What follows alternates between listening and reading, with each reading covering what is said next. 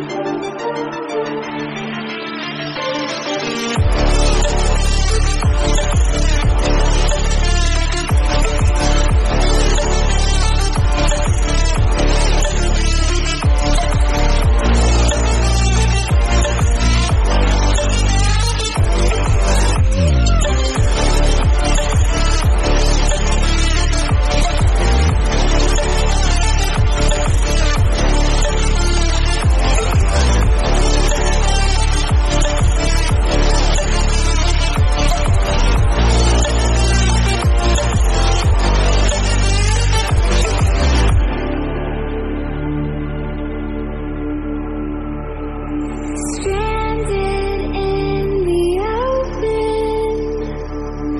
dried out tears of sorrow, lacking all emotion,